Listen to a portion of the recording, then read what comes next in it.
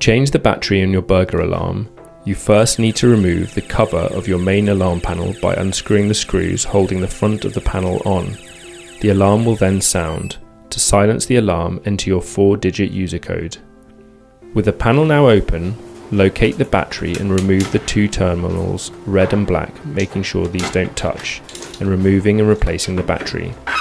Please note, there is live 240 volt power in the transformer, so please be careful and make sure you don't touch this. Also, please make sure you don't knock any of the other wires in the panel, as these may cause your alarm to stop working. Reset your alarm by entering your 4 digit code twice and press reset.